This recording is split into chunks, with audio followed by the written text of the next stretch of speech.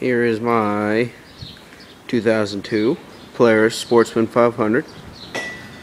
I've never been rode hardly. Took it to the mountains once. Uh, it was sitting for three or four years. Uh, lost the keys to it. Never had time to get around to it, and we uh, took it to our local dealer and got the carburetor cleaned out and cost us around 400 bucks just to do that. I guess it was crazy dirty, but uh, all stock, nothing done to it. It's an awesome four-wheeler. I love it.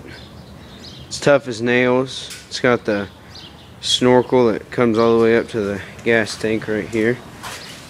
I'll show you here. It's just factory. I just got done washing it, so it goes all the way up there from there.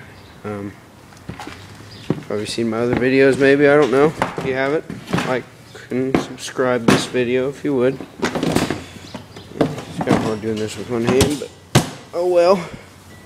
I'll give you a start up here. Oh, it's cold too, by the way. It starts good. It's it's jetted a little rich, so I guess that's always good.